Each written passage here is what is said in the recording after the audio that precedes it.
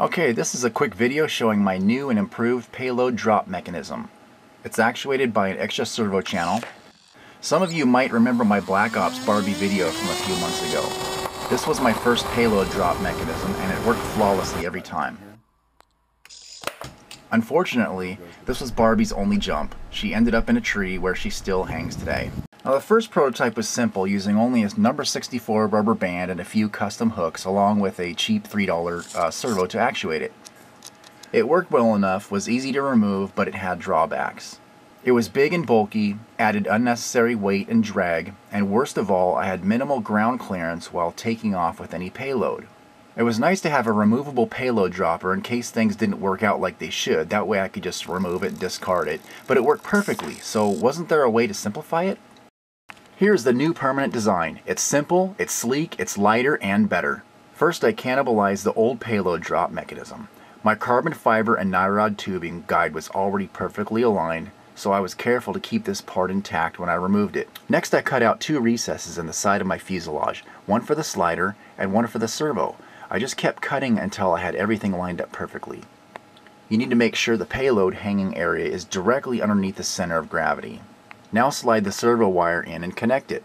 I connected mine with an extension so it would be easy to disconnect the servo when I'm not using it. I hot glued the servo and taped over it with black Gorilla Tape for better aerodynamic efficiency. Then I Gorilla glued the slider mechanism and taped it to hold it in place while it dried.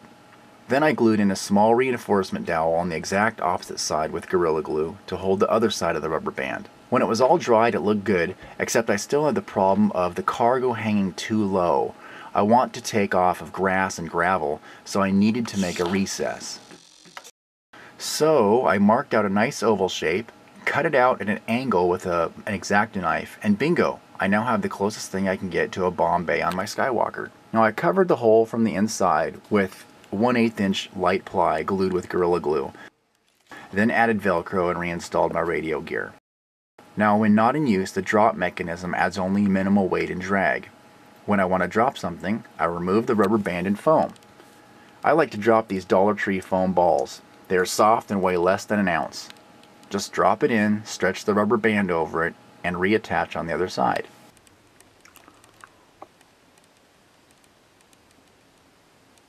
Now I have a lot more clearance under the plane for when I am taking off from rough runways. It works just as good as the first prototype and it's lots of fun. When not in use, simply reinstall the missing foam, attach the rubber band, and unplug the servo if you don't want to accidentally drop this piece in flight.